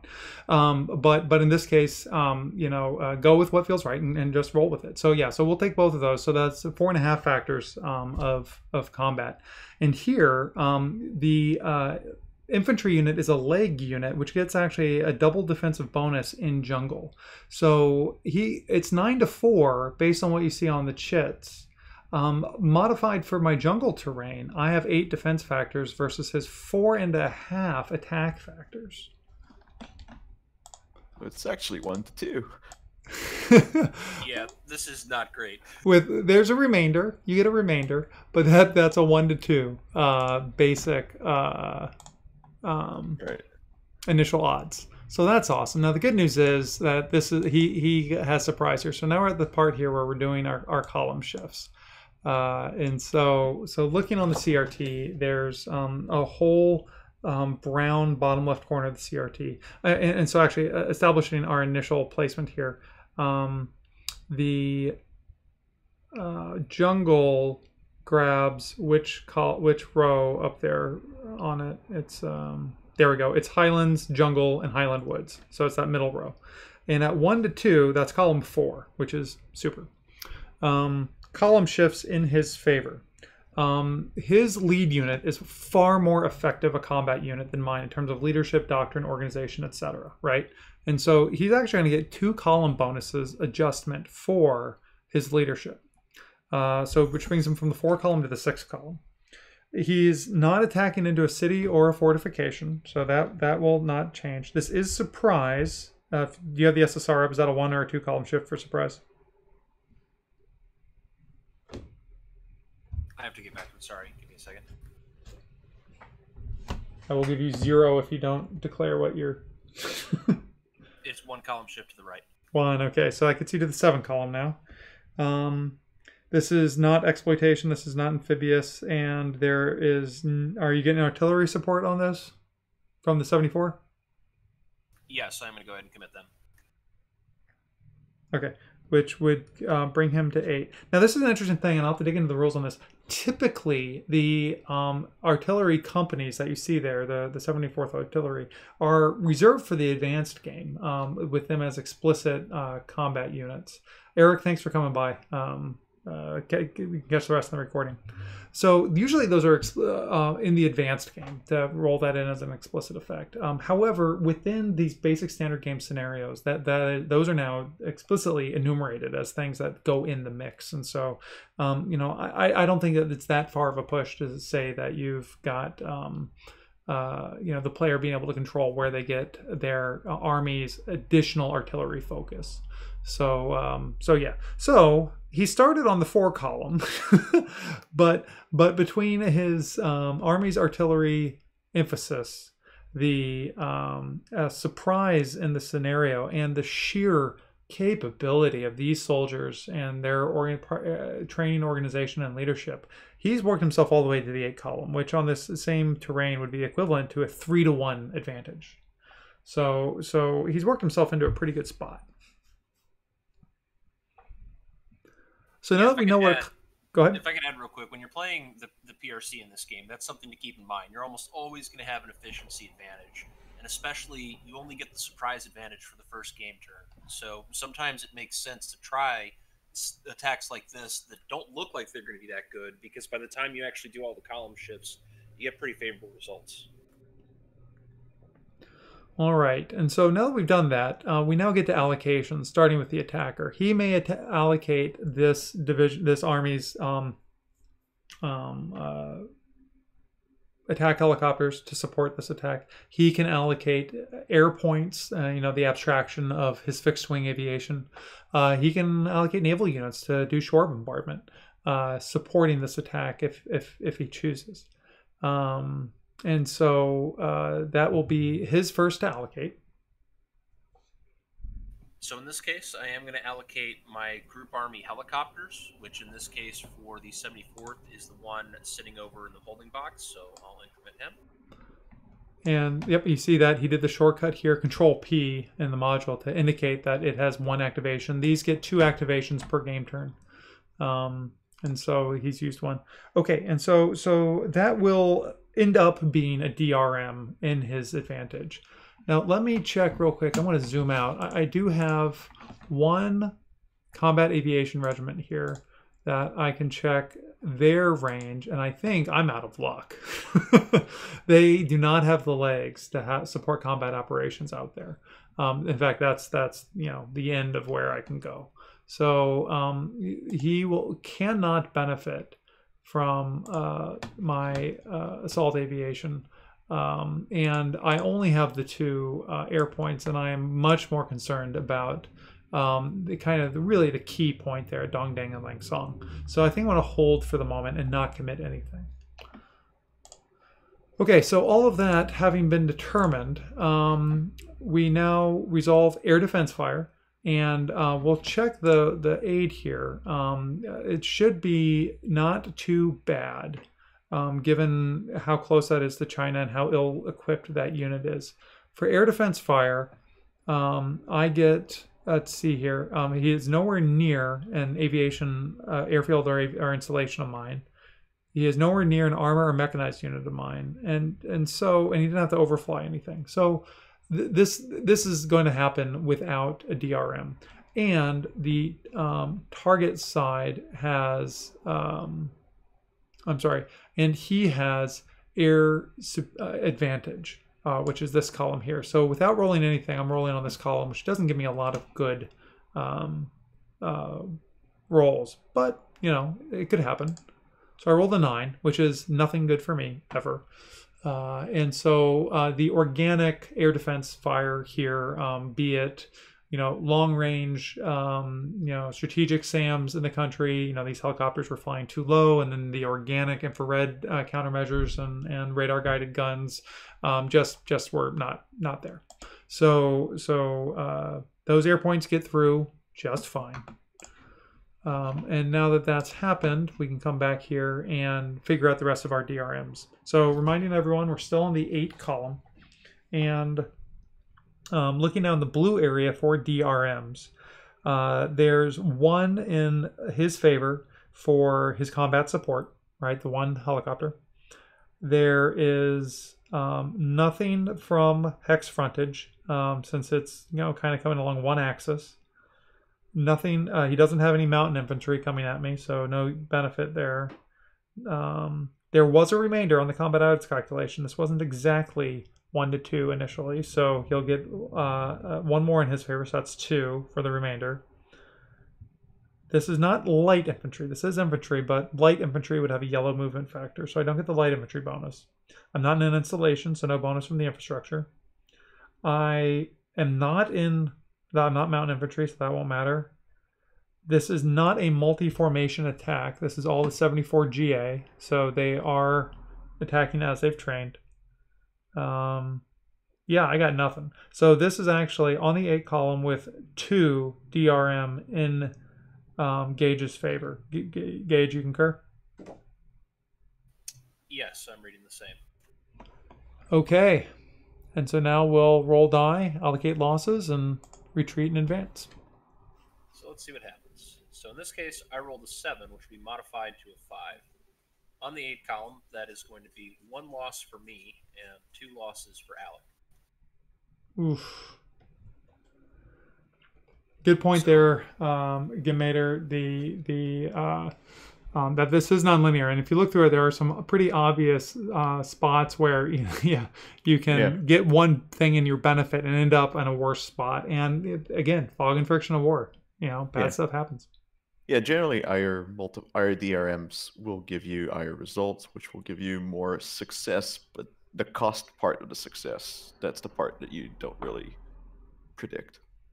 You might take a step loss when you might have been able to avoid it with a lower result, surprisingly.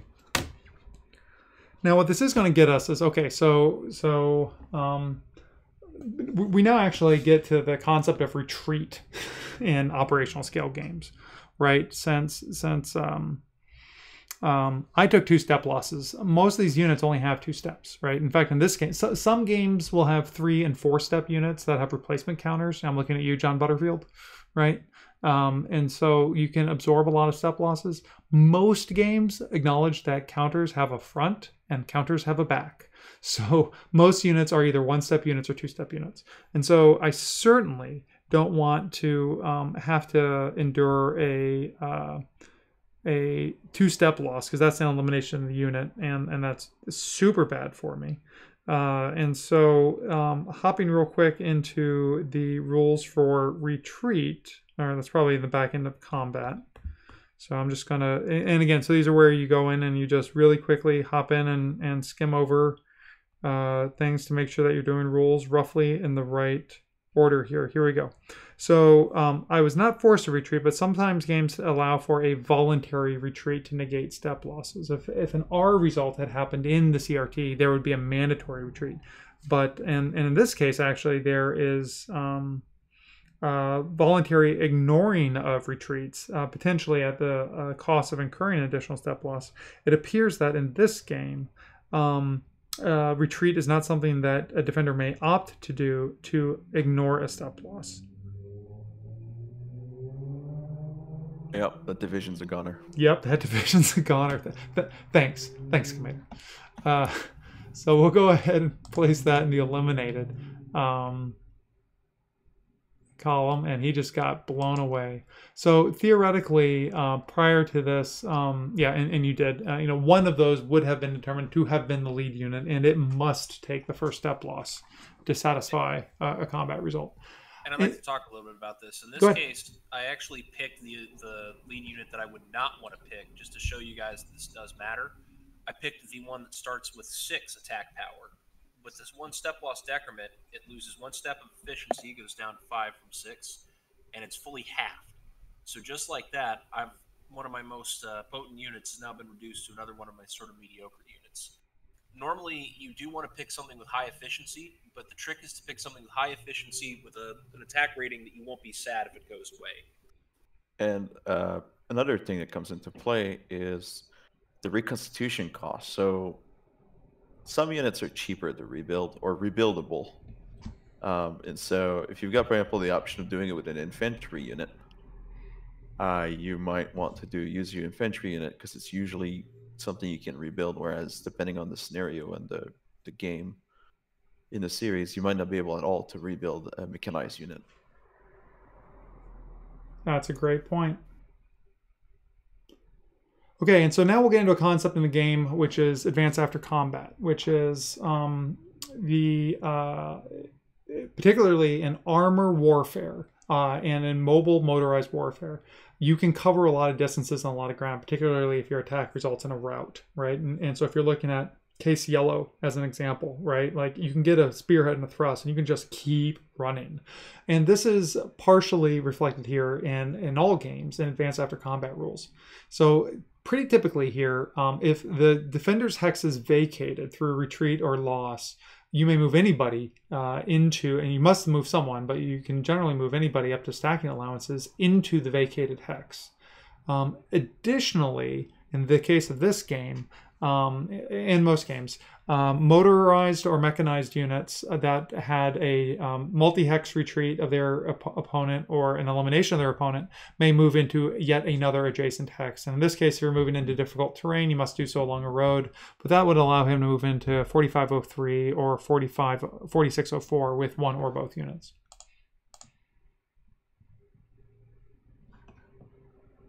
In this case, I'm going to go ahead and move both units in. Again, if my ultimate goal is to keep towards Hanoi, that's one hex closer.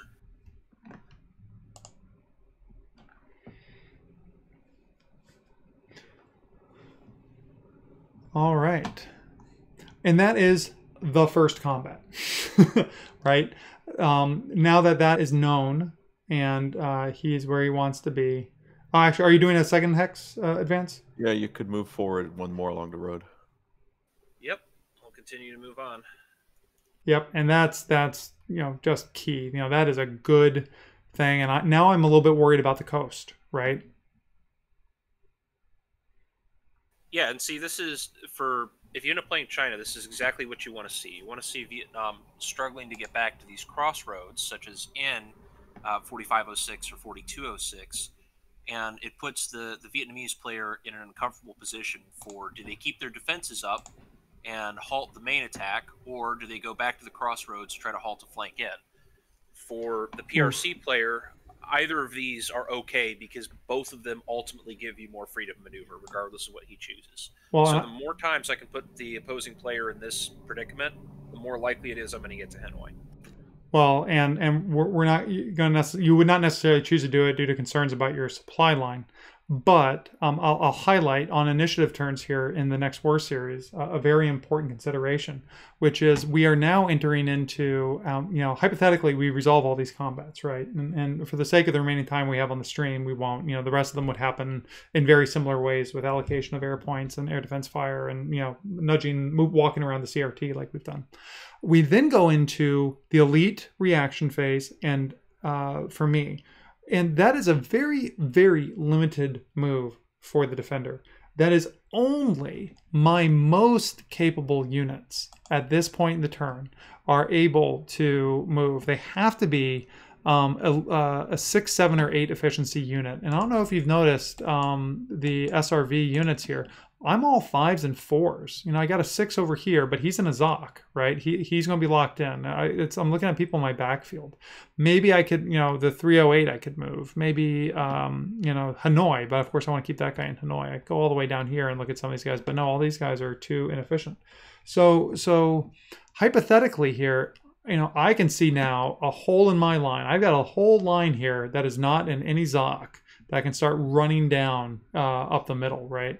And so what I might do then on my elite reaction movement is try and block that some way. And so I might do, um, you know, one, two, three, four, five. Yeah, that's that's exactly what I would do. Six. because otherwise, what he's going to get to do here in the remaining part of his turn looking at oops uh, yeah looking looking at the sequence of plays he then gets into an exploit movement. And in exploit movement he gets to um, push ahead with his units that aren't otherwise locked down. He can exploit an opening. And it's only my most capable disciplined unit that could have reacted to try and stop that which i would have done. Thoughts on that uh, Gage or commander Yeah, absolutely. I think it would that would definitely remove some of this. You know, what do I get out of it? He chooses to move something from the backfield, so he doesn't sacrifice the combat efficiency at the border, and he removes my ability to just run rampant behind his lines. But Uh, the other, but now this unit is committed there. So in the event that one of my other attacks were to break through, I'd be able to push. In addition, I talked earlier in the turn about not wanting to commit airborne because I was worried about them getting overwhelmed. Now, 3709 and 3809 both look like very tempting places to drop airborne brigades. There's nothing that can get to them that's even close, and it would put them close enough to go up and help their buddies at the border if they had to. You can also use them to take that airbase in 3810, yep. which will Yep, let which would shape air points going ahead. and allow you with sufficient air superiority to use uh, air transport to move units in there. And an airbase that close to Hanoi in Chinese hands would be very good for the PRC player.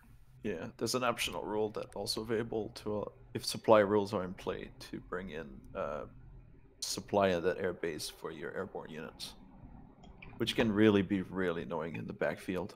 Um, And so, getting into the discussion of the supply rule, let's assume that that unit either I decided not to or was insufficient. On the exploit movement, um, the Chinese player could push this stack, um, you know, all the way through this hole, right, and start working their way in. Right, there are no Zocs. There's nothing keeping them from doing so. The reason to not do so. Um, uh, is because you are playing with the supply rules as you should always be. And me taking this hexpex 54 4506 locks that guy out from getting you know beans, bullets, and gas, right? Uh, and and that unit then quickly becomes combat ineffective. And so he would have to if he I mean he could do that. Boy, would that wreck my day, right? Um, eh, eh, eh, but he would have to significantly tangle and and threaten um, units up here so that he can ensure that he maintains supply. And I did not have the freedom to respond to cut supply. Are, are secondary role allowed for supply under the supply rule? It's one of those vague thing where it just says road in the Yeah. in the series rule.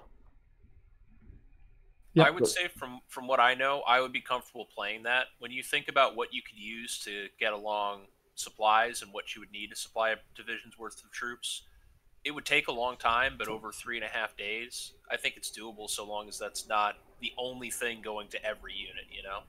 Right, and the game rules in th- 13.1.3 are road. As long as you can trace, you know, for his line of communication as a continuous line of road hexes, and the trail, again, we call it trails. The uh, words mean things. The secondary road is still a road.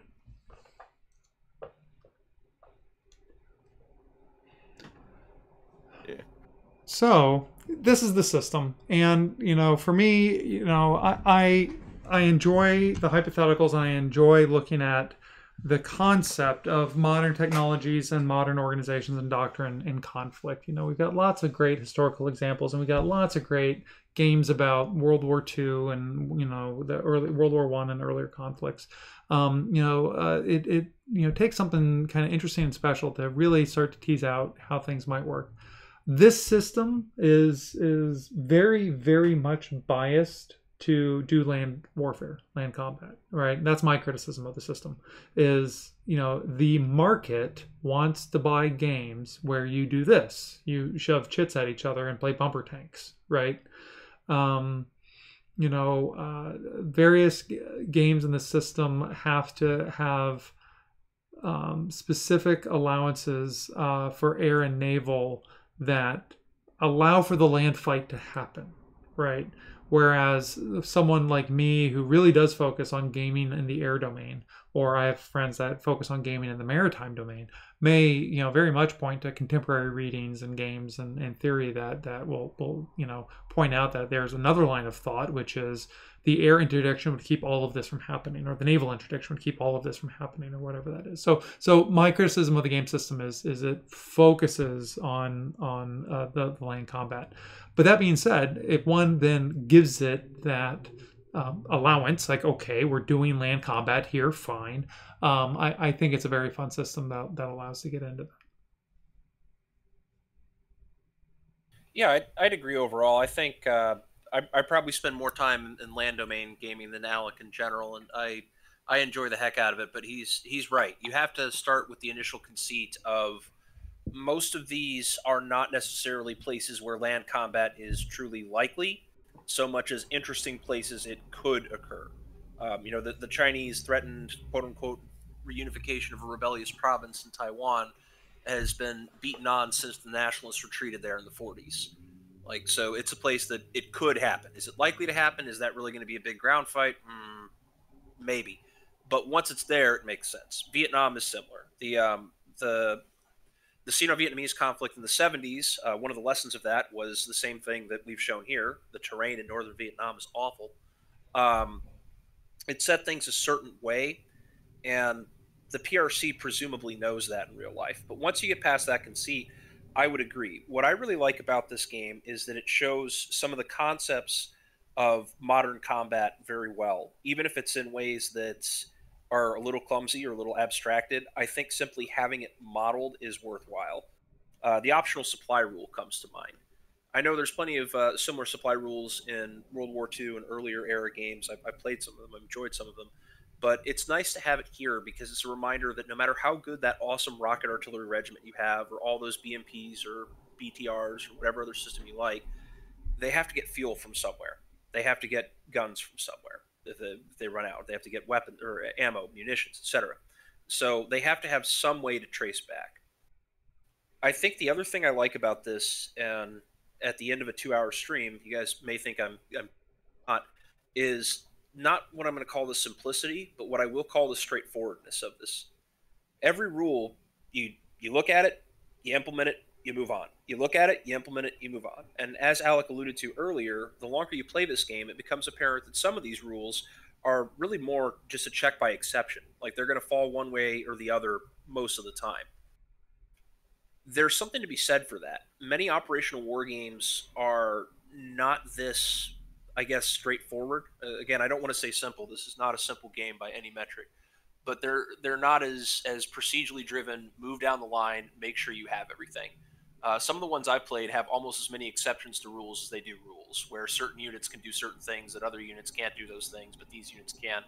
And it, it, it's an effort to put more fidelity into the game for how different types of units work, but it goes out of control very quickly so there's an interesting sidebar happening here in the chat, which which I'll uh, chime in on, which is discussion of the air rules when one does get into the full game, and I'll, I'll fully acknowledge my bias here as an air war gamer. Right, that's what I am. As I'm an air war gamer, and and I, I adore this system's advanced air rules in the original form in in Next War Korea. Right.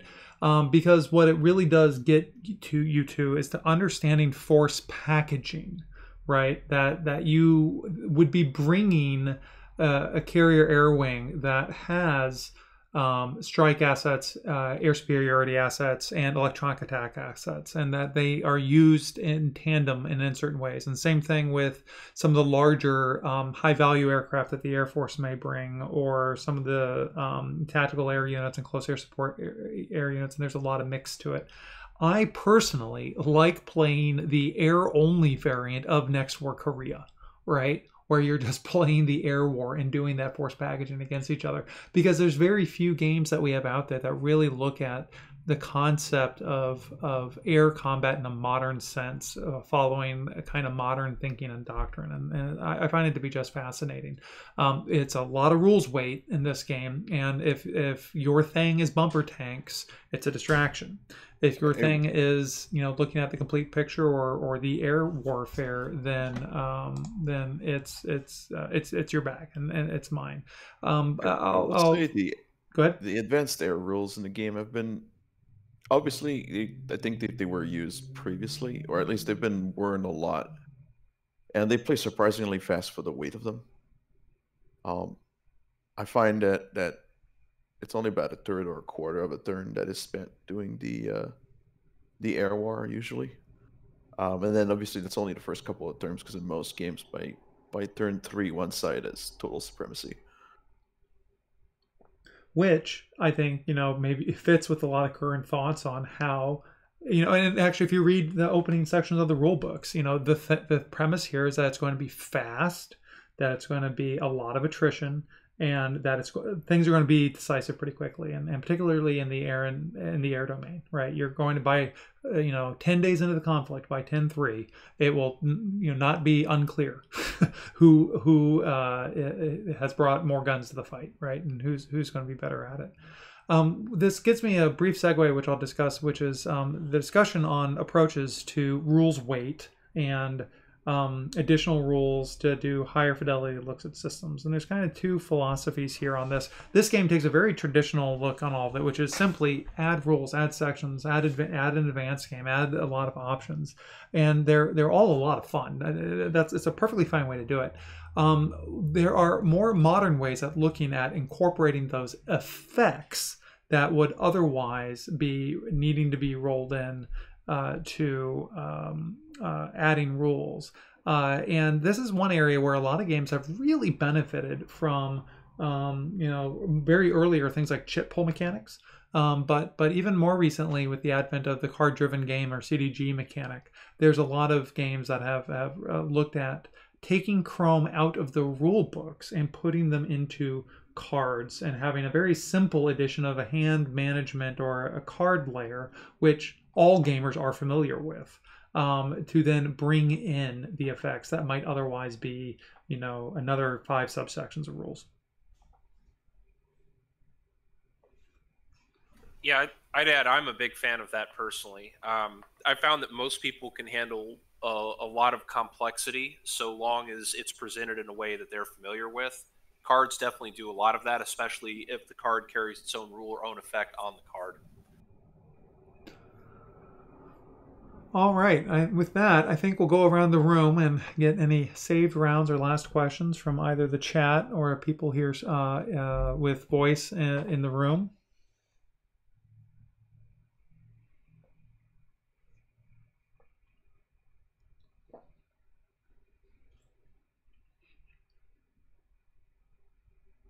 Gamator, Ardwolf, any uh, parting shots or thoughts? I thought this was very interesting. And I've well, been guilty of being in the playtest and not actually playtesting this game. So this is the first time I actually see it on the table.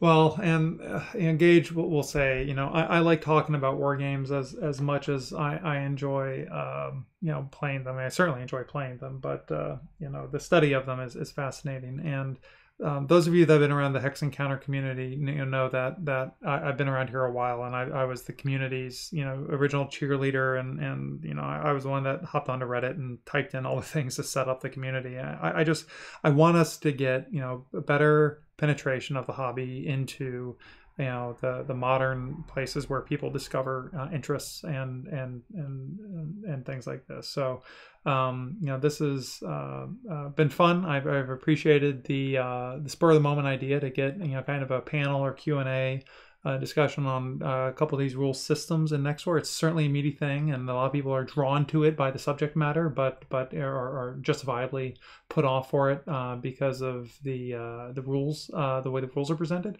But there's a lot here if if you are willing to dive in and have some fun. Don't let the rules get in your way. Enjoy it have fun with it.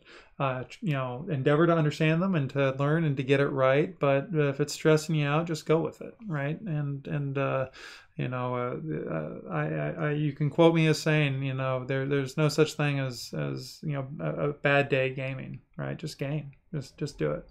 So um, with that, uh, I'll uh, turn the mic over to Gage, and then we'll wrap this up. Yeah, absolutely. Um, well, first, thanks for having me. This was a blast, and I'd, I'd, be happy to come back and do this anytime. I, I love dissecting games. Um, it's fascinating to see how all these things represent something in the real world, and if you have familiarity with it, if you do military ops research or anything similar, it's uh, it's interesting to see how people approach how do you turn very complex things into something that can be done in an afternoon. Uh, the only other thing I would add is to to build off of what Alex said. Uh, there's a, a I don't know if it's a, a single aphorism or truism from the tabletop role playing game community so much as a spirit, which is uh, the you just want to keep going. And TTRPGs is about telling a story. Here it's about having a battle. If you're bogged down in the rules the whole time, yeah, you're, you're not having a battle. So the if, if that means that you only play it incrementally or you start with let's just set up some chits and see how they fight each other, whatever you got to do to teach yourself before you're comfortable to get going, I, I think is good. But this is again I, I got to be really careful my words, words here. Even if it's bulky, it's straightforward. And once you realize how all the pieces play together, it's it's pretty straightforward to play. Yeah, just take the uh, the SOP and just go through the case one by one. Absolutely. That's true for most war games. Even if they have really complicated rules, you take the sequence of play and you slowly move your way through the sequence of play, and things will actually make sense. All right. And with that, I'm going to thank all of you for uh, taking the time to join us live on the stream here and discuss Next War, the Next War series, and in particular here the latest installment, Next War Vietnam. I do hope that we'll be able to turn this fireside chat game table discussion into a, a, more routine feature here for the subreddit and the Discord server. Um, I, I, enjoy doing this, and if, if folks are interested in, in doing this, I'm, I'm willing to you know find interesting folks uh, or if you would like to host the you know there's no password to this uh, you know discord server right? You're, you're welcome to to host uh, here as well. Uh, just record it and share it for us. So um, with that uh, this has been alec i've been joined by um, uh, co-hosting here with my guest viceroy gage and, and a number of people from uh, the Reddit's Hex and Counter community. Um, uh, in specific, Amator, I wanted to thank you for your, your, your consistent inputs and thoughts and experience in this system. Uh, for those of you catching uh, this on YouTube, uh, please do come by reddit.com uh, slash r slash hex and counter, Reddit's beachhead for tabletop hex and counter based role gaming. With that, signing off and have a good night, everybody.